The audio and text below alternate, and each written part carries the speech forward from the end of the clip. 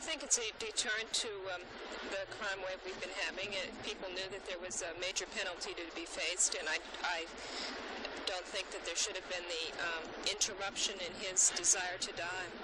That's what he wanted, and that's what's really the sentence was for, for him to die.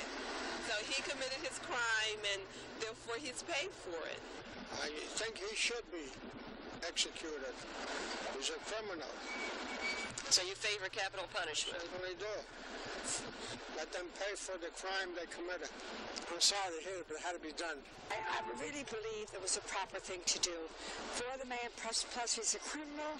Also, that I understand he served 18 years uh, through a lifetime. He's a real criminal. He wanted to die, and I think that was a proper thing to do. I'm not happy about it, but I think it's proper. I really don't believe in, you know, like the death penalty. But if the guy wants to die, I figure maybe it's his right if he really wants it that way. Well, I think if he wanted to be, then he should get what he wants. How do you feel about capital punishment? I think we should have it.